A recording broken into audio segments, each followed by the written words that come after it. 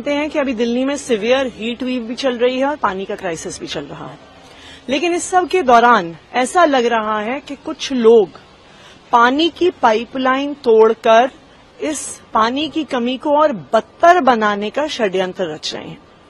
कल जो साउथ दिल्ली की राइजिंग मेन्स है, जो पानी की पाइपलाइन सोनिया विहार से आती है, पूरे साउथ दिल्ली को पानी प्रोवाइड करती है, कल उस पानी की पाइपलाइन में लीकेज हुई।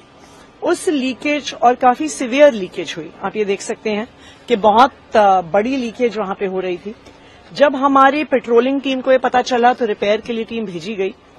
वहाँ ये पाया गया कि बहुत बड़े बड़े बोल्ट 12 इंच के बोल्ट चार चार पाँच पाँच सेंटीमीटर लंबे बोल्ट को काट कर वहाँ पर छेद किया गया था पाइपलाइन में। तो ऐसा लग रहा है कि कुछ षड्यंत्र हो रहा है। और मैंने इसी संदर्भ में आज पुलिस कमिश्नर को लेटर भी लिखी है।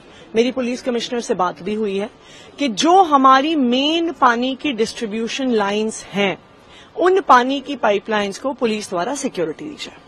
इससे पहले भी नेटवर्क नहीं सकते इस बारे में क्या अब तक कुछ तहकीकात हुई कुछ पता चला कौन से लोग इसके पीछे क्या कर रहे हैं? देखिए अभी ये तो जग ज़ाहिर है कि दिल्ली सरकार और अरविंद केजरीवाल सरकार के खिलाफ षड्यंत्र कौन रच रहा होगा?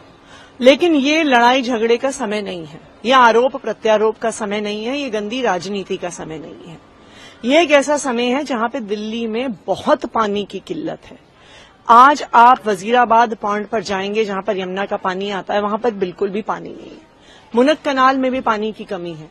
इसके कारण दिल्ली के सारे वाटर ट्रीटमेंट प्लांट्स में कम पानी जा रहा है और दिल्ली में कम पानी प्रोड्यूस हो रहा है। तो स्वाभाविक बात है, जब पानी का प्रोडक्शन ही घट जाएगा तो दिल्ली के अलग अलग हिस्सों में दिक्कत होगी।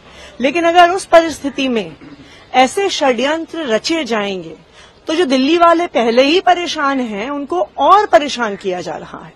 तो मैं ये उम्मीद करती हूँ, और मेरी जो पुलिस कमिश्नर से बात हुई है बहुत पॉजिटिव और बहुत कोऑपरेटिव थे वो।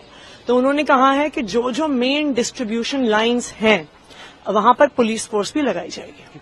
बीजेपी आज आपको लेकर है कि आप लोगों ने ठीक से मैनेज नहीं किया, उसके कारण दिल्ली के हिस्से की प्रॉब्लम दिल्ली को झेलनी पड़ रही है। देखिए, अगर भारतीय जनता पार्टी को, आम आदमी पार्टी और मुझे और अरविंद केजरीवाल जी को गाली देके संतुष्टि मिलती है तो बहुत अच्छी बात है।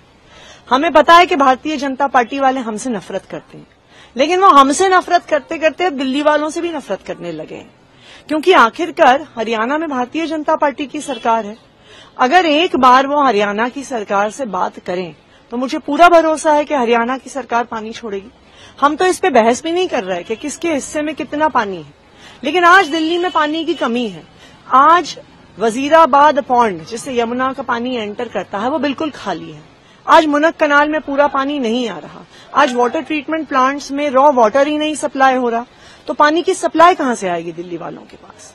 तो मेरा तो यही आग्रह रहेगा कि आरोप प्रत्यारोप करने के लिए पूरी ज़िंदगी पड़ी है। लेकिन ये समय है दिल्ली वालों के लिए मिलकर काम करने का।